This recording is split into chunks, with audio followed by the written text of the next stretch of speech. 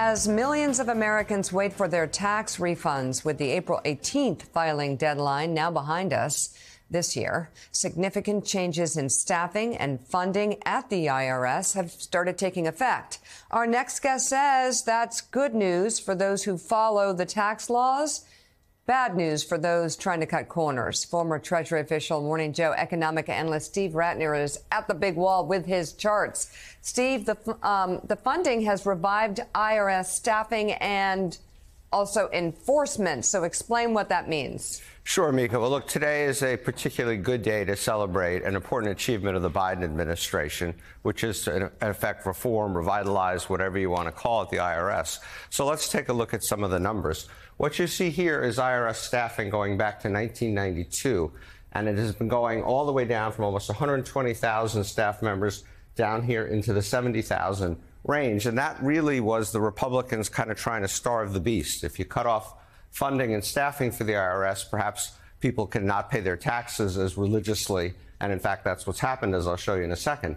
But this has all changed. It changed a bit with the CARES Act pushed through by Democrats, which increased funding for the IRS. And then $80 billion in the IRA is going to take staffing all the way back up to here, not all the way back to where it was, but a big, big positive boost. So why is the cut in staffing so important? Because here's what happened to the chances of an American getting audited. If you had over $10 million of adjusted gross income back in 2010, you had over a 20% chance of getting audited. That drop, drop, drop, drop, drop, and now you're down here under 5% uh, for 2019, the most recent year that we have audit statistics for, of the percentage of people getting audited.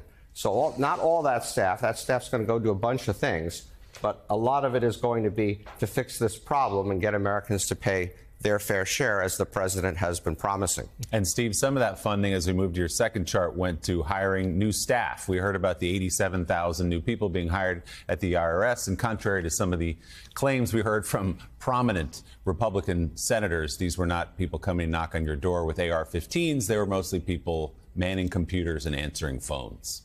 Yeah, that's exactly right, Willie. And to your point about answering phones and so forth, look at this. This so this uh, uses a lot of the money that CARES put in place, and it'll get better, even better, as the Biden money comes into place.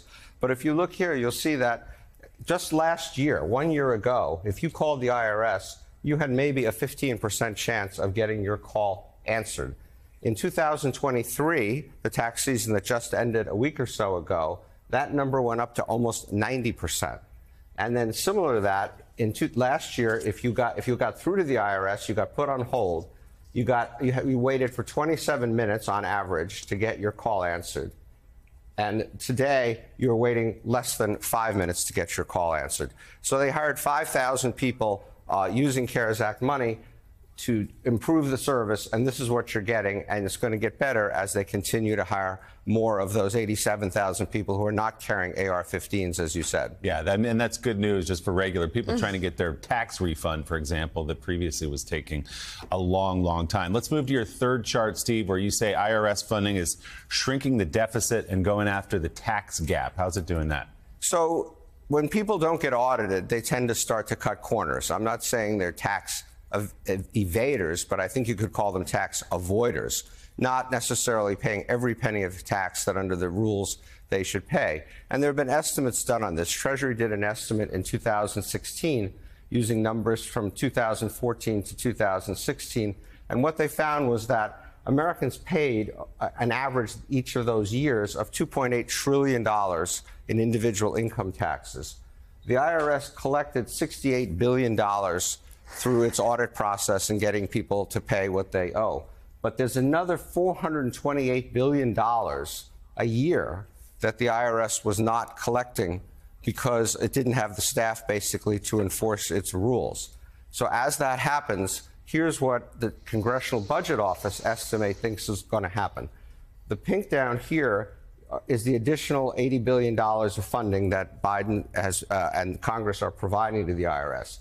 All this green are the extra revenues that they project they will collect between now and 2031, about $177 billion of extra revenues, which gives you a net cumulative of $100 billion of deficit reduction over, the, over this period of time between now and 2031. And so not only are we going to get, hopefully, people to pay their fair share of taxes, we're going to make a, a, a noticeable dent in the budget deficit, which we all know is a huge problem that needs to be addressed. So it is a yeah. win-win for everybody except people who are trying not to pay what they really owe to the IRS. Yeah, some important numbers in there. Perhaps the most important of all, though, Steve, to your second chart, four minute hold times we're down to with the IRS. You can only take so much of that music. That's some good news. Former Treasury official, Morning Joe economic analyst, Steve Rattner. Steve, thanks so much. Still